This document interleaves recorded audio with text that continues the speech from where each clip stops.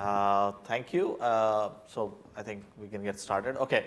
So, uh, you know, I'll talk about, you know, some of the work that I've been doing for now about, you know, I mean, I, I started this line of work when I joined Rice and um, um, it has been like um, getting more and more exciting since then. So this is joint work with a whole bunch of PhD students and also some smart undergraduates at Rice that I was fortunate to work with. Um, uh, this doesn't.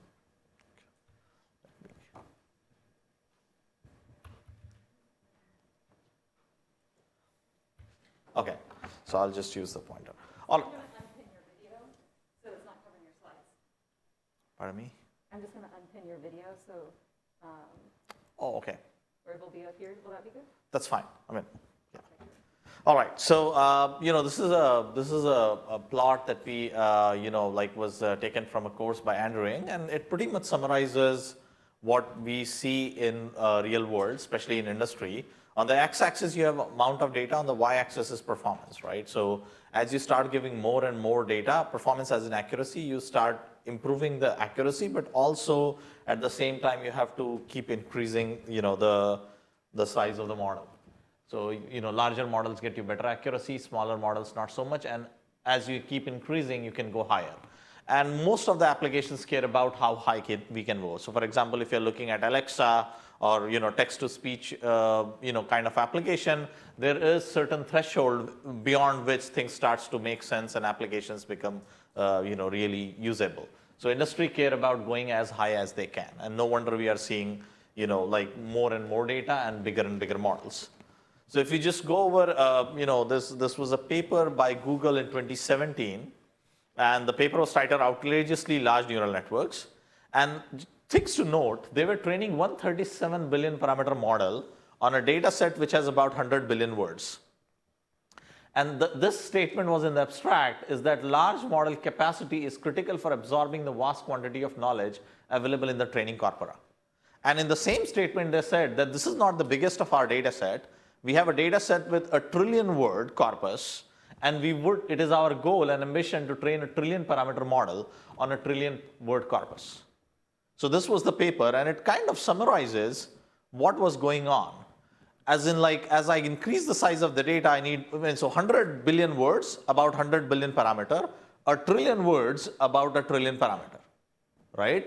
And in fact, if you look at the progression from 2017, last to last year, we have seen, uh, last year we saw GShard, which was 600 billion parameter by Google. GPT-3 was 175 billion parameter. Everybody knows about GPT-3. Last to last year, just a year before that, it was GPT-2 with about 1.5 billion parameter. This year, finally, Google released a paper saying that they achieved that trillion parameter model on a trillion word corpus. So it takes Google about four years to come here.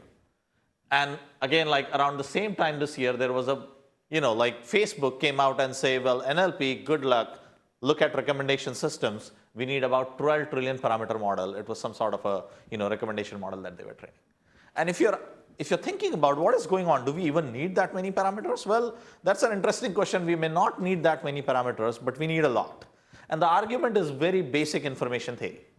So imagine I have a data set and I'm like trying to do question answering.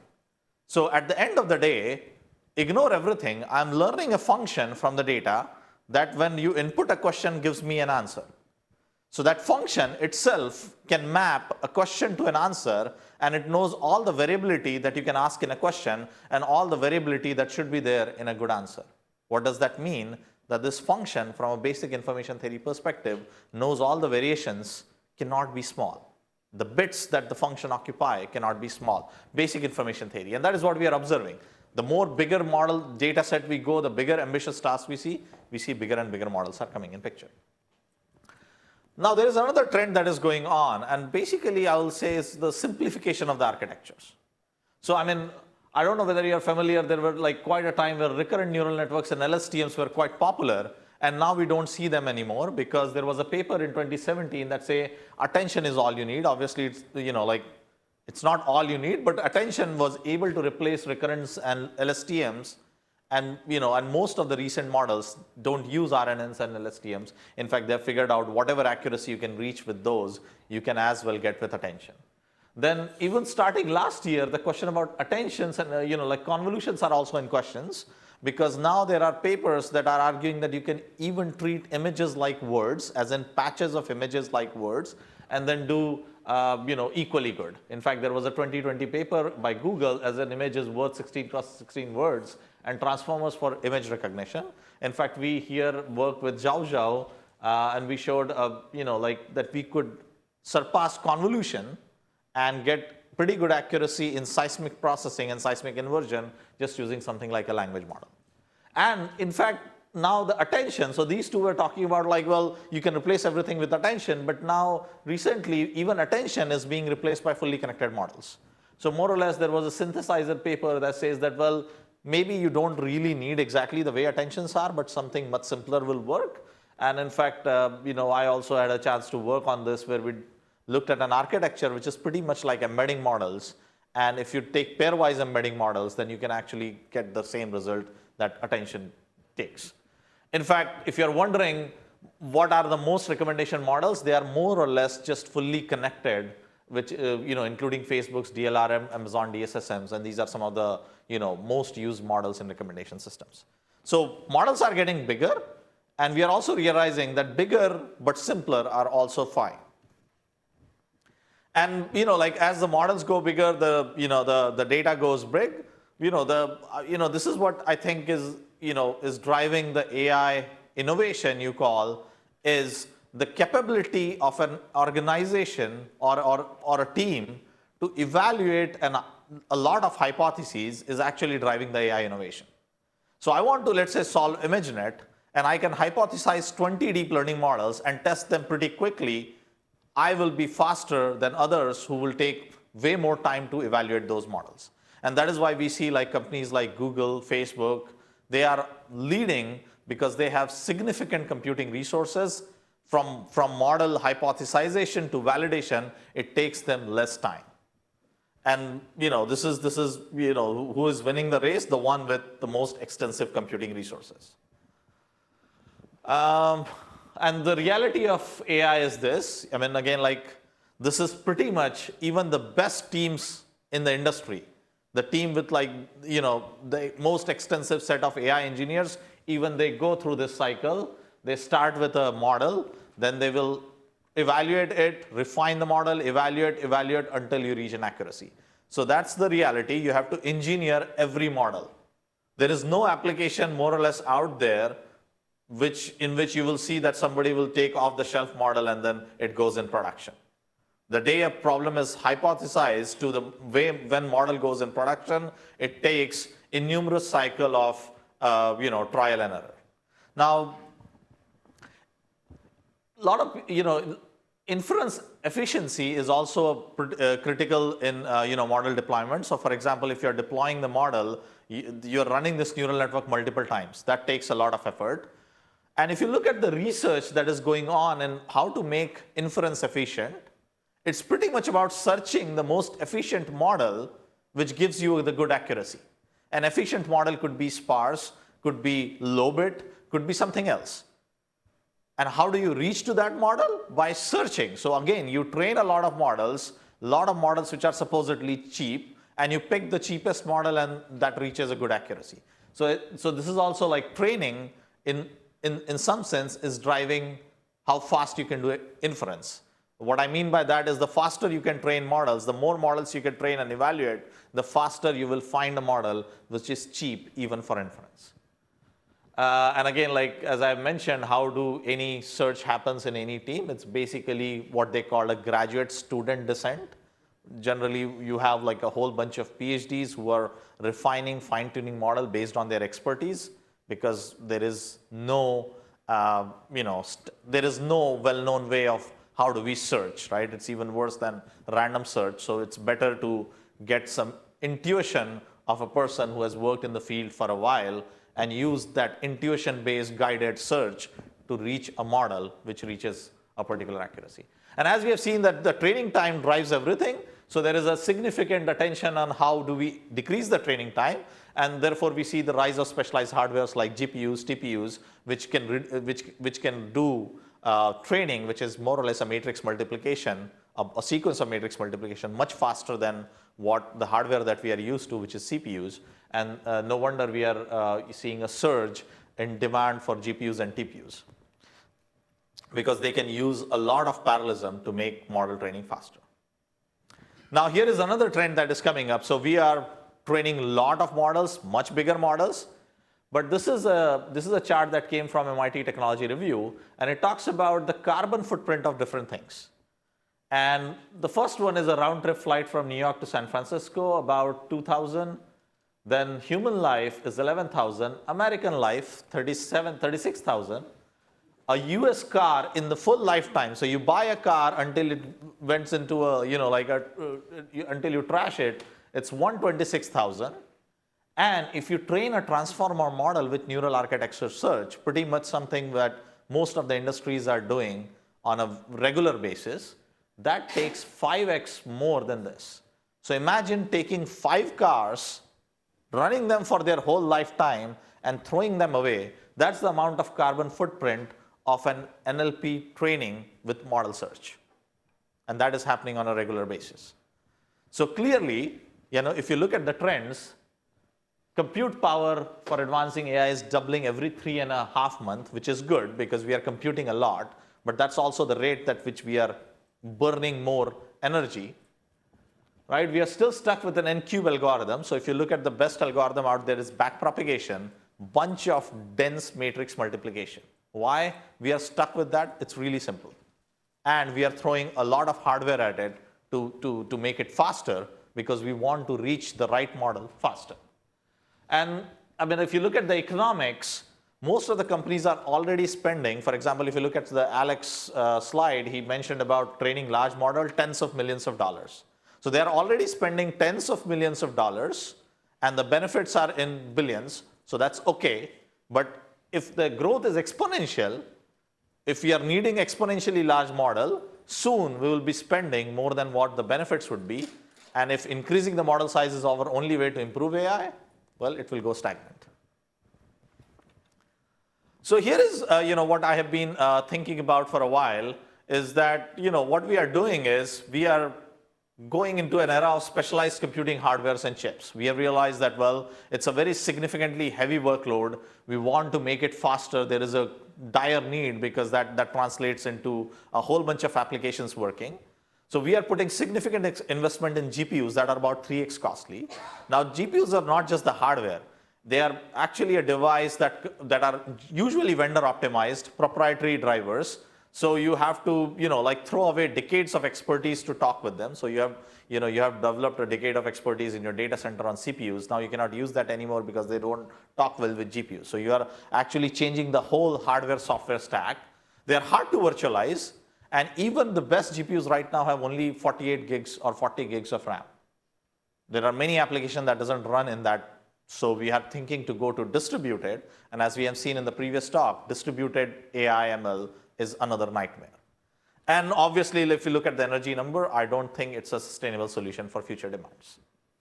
And what we are not doing is we are not adopting, we are not rethinking how we train neural network, right? We know that brain is very efficient, right? We are, but we are still stuck. If you look at the best system out there, even though the systems are evolving, they are still using the same backpropagation algorithm, which was developed in 80s when computation was not an issue. And there is a reason for it. I mean, most of the algorithms that we develop are too sophisticated to be implemented on the hardware, and we cannot see good benefits from them. And the algorithm that we are used to is really simple. What is backpropagation? A sequence of matrix multiplication forward pass, a sequence of matrix multiplication backward pass. What can be simpler than that? And so we are actually used to that simplicity and all the implementation are using it. And these days, a machine learning person, for, for, for a machine learning person, if you don't give him TensorFlow or PyTorch, there is no machine learning. So we are so much used to those frameworks which are using these kind of algorithms that we don't see a world out there without them. But obviously, I mean, I think there is a real scarcity of people who understand both AI and efficient computer system design. And I think there is a need of it. And you know, this is what I'm trying to hope to convince you that there is a very, you know, like rewarding area of research here. And if we can do something there, that would be very beneficial. Now, opportunities of AI training on CPU. So obviously GPUs are, uh, you know, GPUs are, you know, getting better and we are seeing a great performances from GPU. There is a whole workforce of people trying to optimize AI GPU.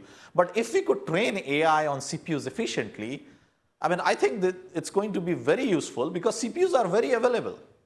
I mean, look at look at 70 or 80 percent of the computing hardware is are actually CPUs. A lot of them are sitting idle. Like if you look at the statistics of how many at any point of time CPUs are idle, about 75 percent of CPU cores are available at any point of time. Fully virtualized and customizable. So if you look at the solutions, like people have built developing a lot of software stacks, they know how to talk with CPUs. It's they are not vendor optimized. You can talk with the hardware directly customize it, you know, the, you know, like security, safety. And the another thing is IoT and AI training. Currently, all the IoT believes that AI training happens on the cloud and it's the deployment that we should worry about. But imagine if I can enable deep learning on CPUs, and I'm talking about CPUs with, let's say, four cores and a small amount of memory. If we can do AI training in a resources like that, then we are enabling a possibility of AI training on the edge. And given the recent privacy issue, I think it can change the complete economics of how uh, IoT training looks like. Now, with that, I will go a little bit about like what we are doing and what, what the hope is, and I'll show you some of the you know like advancements that we have made. So with this, there was a 2016 New York Times article that says that well, the hardware acceleration, and that was talking about the ends of Moore law, Moore's law, and they are saying that well, we are not getting hardware to perform or scale as fast as we used to, and the you know like the you know the next advancement will come from human creativity. And around the same time, there was uh, this uh, law after Moore's law, which is called Huang's law, after uh, you know the uh, NVIDIA CEO uh, Huang, Jensen Huang, and it claims that the synergy between hardware and software, and then software is coming more and more into the picture, is that we cannot purely rely on hardware to scale the AI, and it has to also have a significant software part. So with that, I'll, I'll start, delve a little bit into the technical details of backpropagation. We'll talk about why I see backpropagation to be wasteful and what are the opportunities and what we can do there. Okay. So first of all, I mean, just I'm assuming people know what a backpropagation algorithm is, which is essentially I have a neural network, which is like a layer-wise model. So you give it an input feature, then every neuron is basically an inner product of the input with the weights. Then you get the value of the inner product. Then you threshold them at zero, so anything less than zero goes away. That's called ReLU. And anything bigger than zero survives and feed forward until you reach a prediction layer where you just your final uh, layer tells you which class it is. So this is the kind of model that are getting more and more popular, known as deep learning. And the way to train them is you take a batch of the data, feed forward them, compute errors, back propagate, and do the gradient descent. Now, if you think about it, like so a ReLU activation will compute the activations of all these neurons and will throw 50% of them. So you're already throwing away 50% of the computations because anything that is less than zero doesn't survive. So you do the calculation and you throw it away. So it's like already 50% wasteful. In fact, there are a lot of research that was going on prior in NIPS 13 2015 where people said that, well, you don't even have to throw 50%, you can actually throw away 90 95%.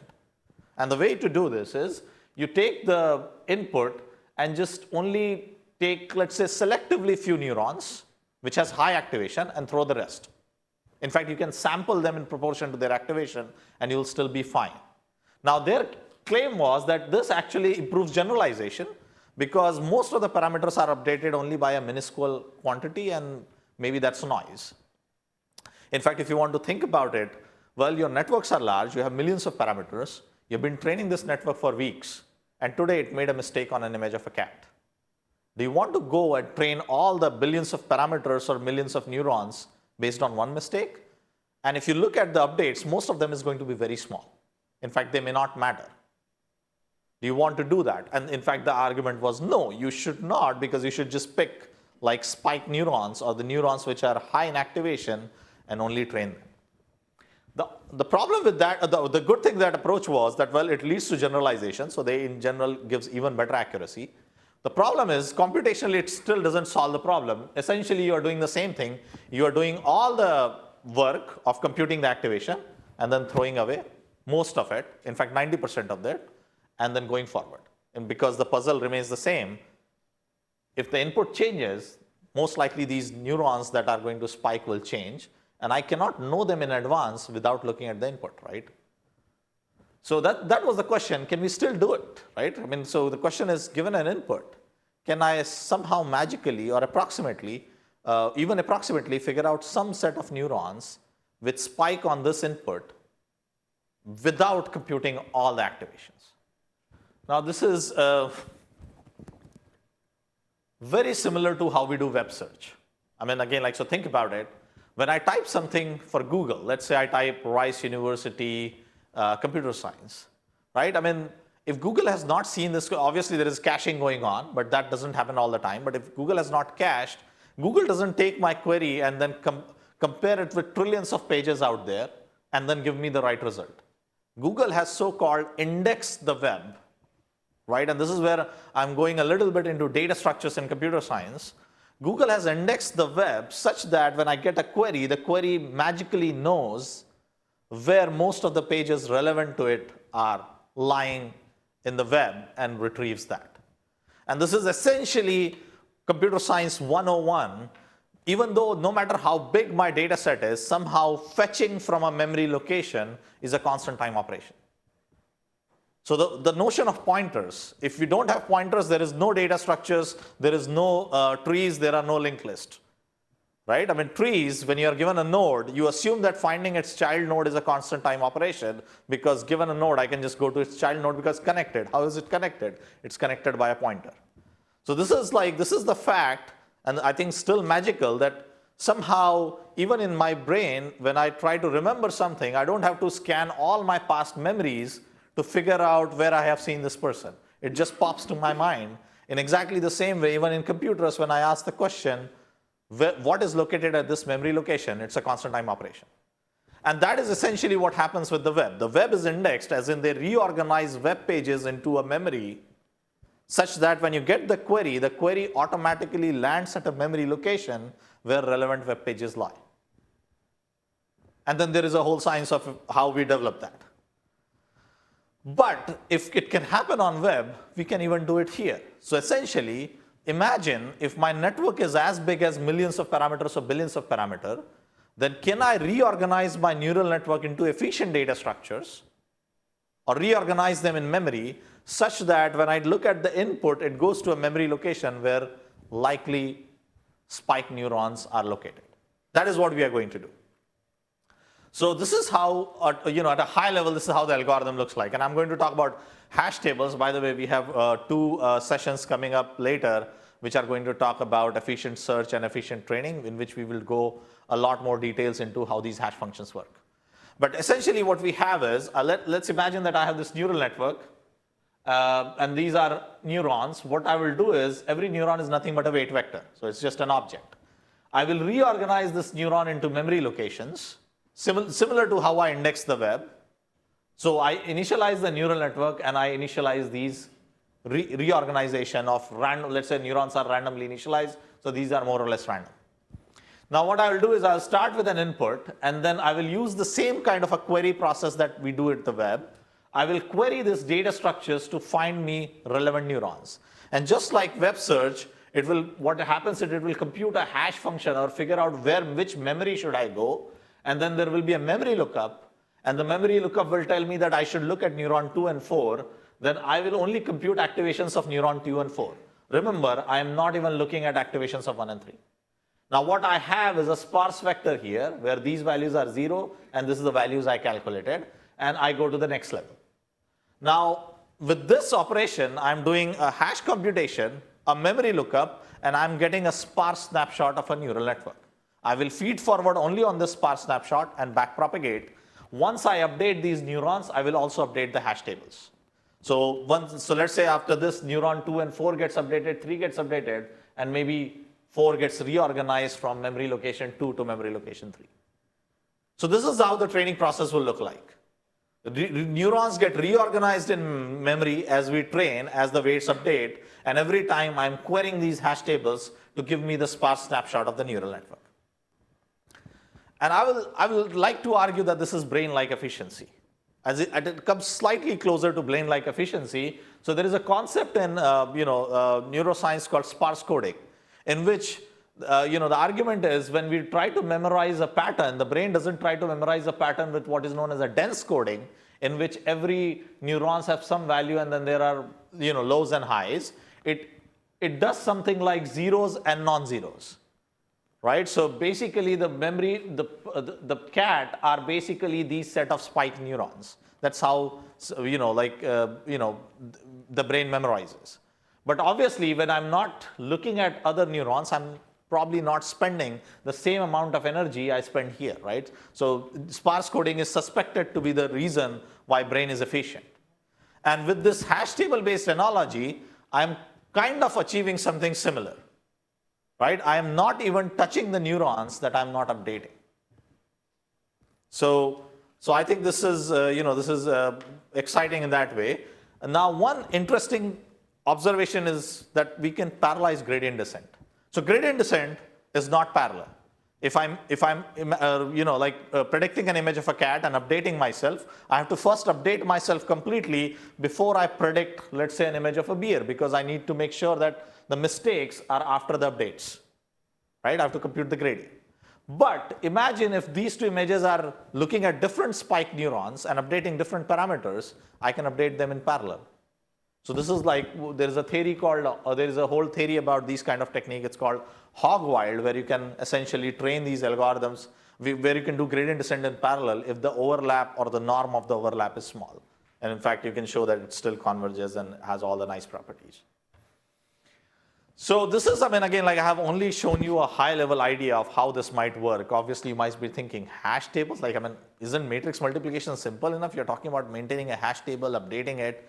Well, that's, that has been by like more or less last four or five years of work is that we have made hash tables efficient. We have shown that the hash tables are doing very simple sampling.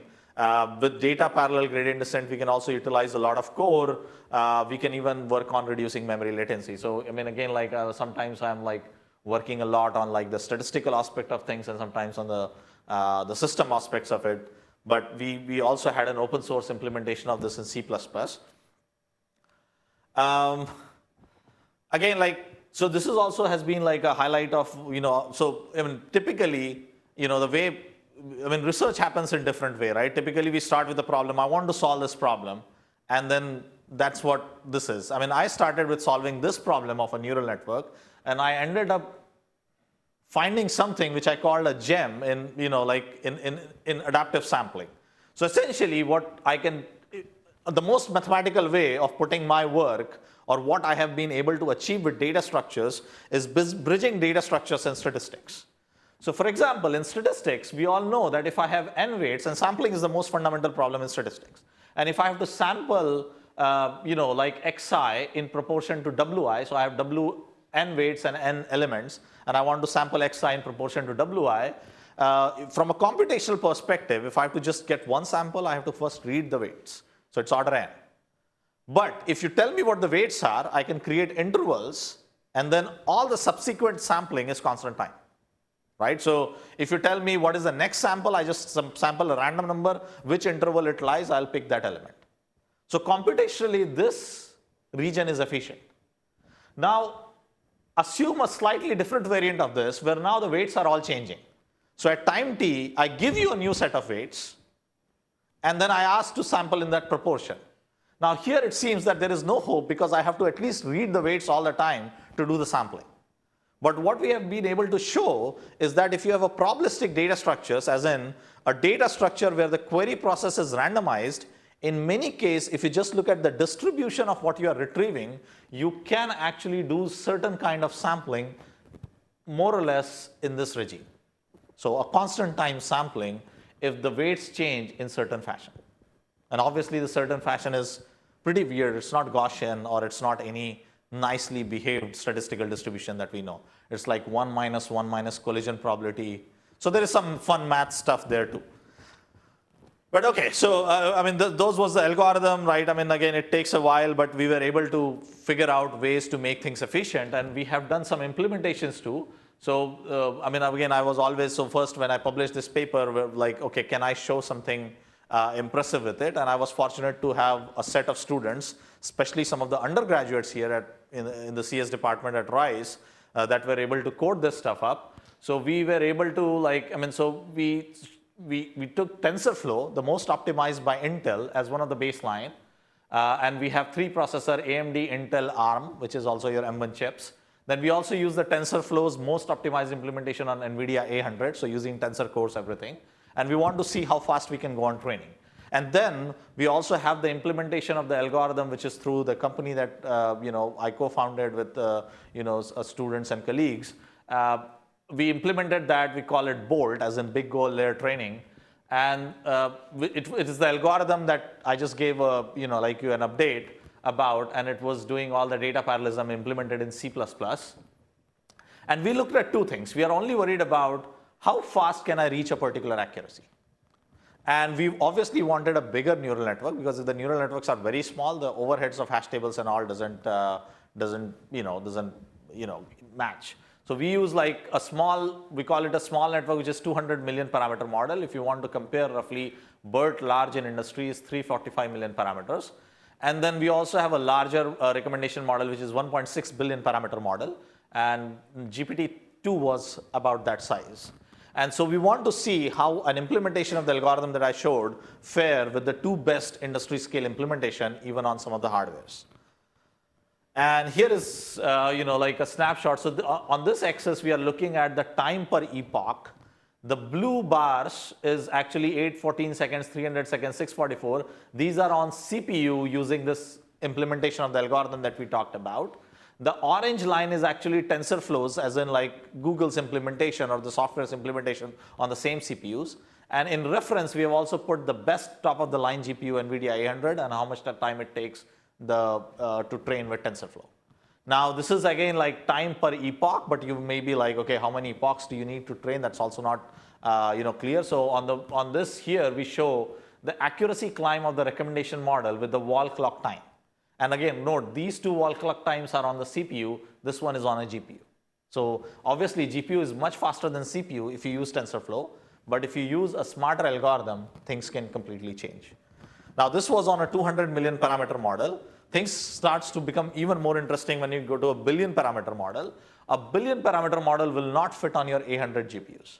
So if you have reasonable enough batch size, you need four A100 GPUs, and then you have to deal with the distributed uh, you know, communication and all. You can still train it. It takes about 1600 seconds to, uh, per epoch. Whereas if you take an Intel, so this is actually a refurbished V3 Intel processor, which costs you less than 1000 bucks. And if you use the usual TensorFlow, obviously it's very slow, but with our implementation, we are even faster than here.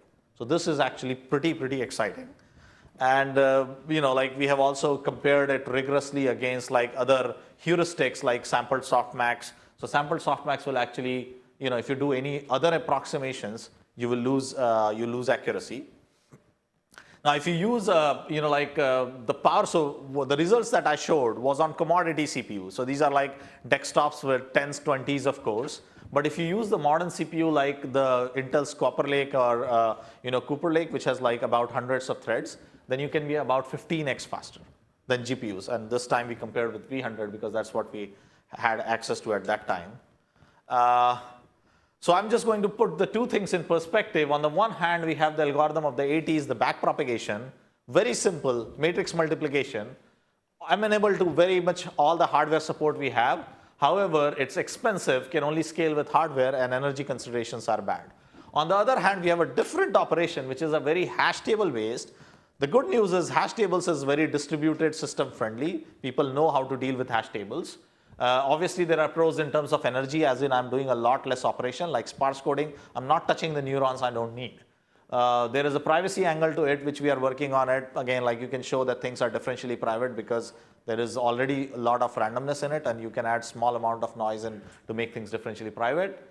However, it is one cons that it's a random memory access, so you cannot really utilize the coalesce memory of what the uh, you know, GPUs and TPUs offer. And plus, it requires a slightly more amount of memory.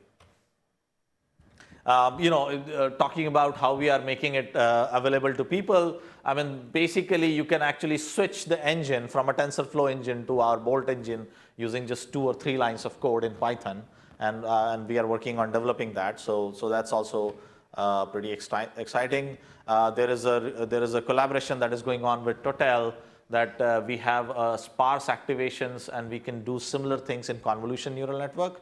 So Mauricio and Dennis is here we are working with them to, you know, like to make even things faster on, uh, you know, convolution neural networks. Uh, there is this uh, paper that is appearing, going to appear in the NeurIPS workshop this year. Uh, we have also looked into the inference piece of it. There is some more tricks that are needed to do inference. While training, it's okay if you sample and even if you lose uh, accuracy, I mean, even if you do approximation, training is very much forgiving, but not the inference. Uh, and with that, I mean, again, like if you are more interested, come talk to us. We'll talk. We have a session in the afternoon that talks about more details onto what these algorithms are and how we can, you know, use them. Uh, but essentially, I want to again like close this with a thought that we are still, even the best implementation out there is still using the same algorithm that was designed in 80s. And I think we can go further if we, if we rethink those algorithms instead of just rethinking the hardware and the hardware and the software stack. And uh, we also have uh, implementation and demonstration. Uh, one message is that it's not really hard to outperform the best AI implementation on really large network because you know that they are doing dense matrix multiplication. Most of that is not needed. And uh, here are some of the references. With that, I will stop here. Thank you very much.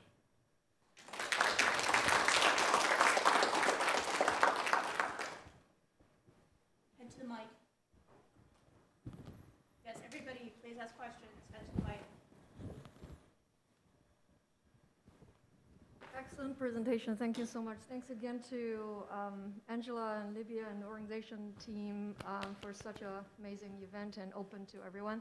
Uh, my name is Sunny Zhang. I'm a marketing professor at the University of St. Thomas. I'm also the founding partner, uh, founding partner at ZLab Ventures.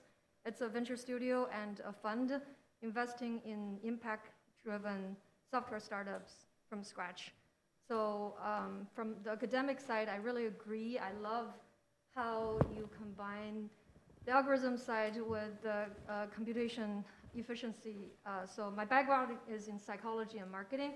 I wanted to say that there's actually a lot of supporting evidence from uh, uh human cognition on uh, simple, heuristic, simple heuristics. If, uh, for example, there's a school of thought coming out of Max Planck Institute um, by a group of cognitive psychologists. They really believe in the beauty of simple heuristics, which saves, you know, it's like how brain operates. Uh, essentially, we can actually make very accurate predictions with very, very little information without knowing. Um, anyways, I'm not going to go there, but my concern is just like what you mentioned, it's very similar to the analogy of consensus versus sampling. And whenever we're using a sampling, you know, although it's efficient in terms of data collection, but there's always a bias, and I'm, I'm glad you also addressed the bias. So I guess my question is, you know, it, it's almost like how human brains um, operates. You know, we're usually lazy when, when we're when we're going with the efficient way, like you know, being stereotypical and all the prejudice usually happens like that. So I just wonder would that also happen when you decide who are, like which neurons are the ones that's going to make it to the next round? And can we afford that potential bias? And of course, that you have a lot of measures to address those bias. My second question is what's the best way to reach you, um, you know, and continue the discussion? Um, yeah. So. Thanks. Thanks for the question. I mean, the, I will answer the second first because it's easier. You can reach me by, by email. So, you know, anshumali at rice.edu. Now, answering the question about uh, you know the bias, is there any bias in how we what neurons get selected? Again, like so, I I am not a you know cognitive person. I mean, I have been now recently gotten more interested into it because of the relevance of the what I'm doing and you know the inspiration that you can draw from the efficiency of the brain. Uh, you know, the brain is uh, you know like thousand times more efficient than where we are. right? And so right now what is happening here is essentially a sampling process. So every neuron has a chance. It's just that the spike neurons has more chance. So that also is one of the reason why it regularizes, and you can show that it's also why you know ideally when you have not trained, you don't really know which neurons are spike neurons because neurons starts randomly. So when everything is random, every neuron has a fair chance to be a spike neuron. But as things progress, depending on what neurons has acquired over time, their chance of becoming the spike neuron change. And obviously there could be a bias again, like I mean, I, uh, we have not done anything yet to mitigate any kind of biases in this. We are purely focusing on computational issues. So, but that is, you know, something that would be very interesting to know more about and see if there are certain implications here too. I don't think it's like a small thing to like decide to go back and double check back propagation because like, culturally that's why deep learning exists. What made you kind of, you know, do that? Because I don't think it's a small thing. Maybe I mean, so you will be surprised. The, the, the, you know, one of the, you know, like uh, Turing Award winner Geoff Hinton himself at some interview said, well, backpropagation is, is not how our brain works. And uh, in fact, there is a consensus among like even the best ones out there that the brain does way more efficient way backpropagation. And again, like we are we are not doing backpropagation, but still like more or less gradient descent because I think there is also this hole in the optimization that gradient descent kind of is the only more or less known technique that we have figured out. I mean, obviously there are few gems here and there, like you know the eigenvalue problems and all. But other than that, we don't really know more about optimization. So it's still gradient descent, but again, like it's not like as uh, extensive as the backpropagation. But yeah, I mean, again, like questions about backpropagation, I'm not, I'm not the first one. People are like suspicious about it anyway. Well, no, it's, it, but it, it also talks, makes us kind of think about like, what are all the other things that we've decided is the right way to do something and we haven't looked back and, you know. Yeah. I mean, again, like, I mean, it's always fun to go to the drawing board. So this is what I teach in the class every time is like, I mean, if you want to get like 1.5x or something, you can take whatever is there and hammer the hell out of it and you will go 1.5x, 2x. But if you're talking 10x, to go to the drawing board. Yeah, but the thing is, like, it, I think it mirrors very well with what Alex was talking about, because Alex is basically uh, talking about AutoGluon, and he's like, you know, essentially my method does, you know, uh, better than 98% of new engineers. So does that mean we just skip and ignore? You know, it's like there's this process of learning, this process of looking back. It's also a waste of time some days, but it's not.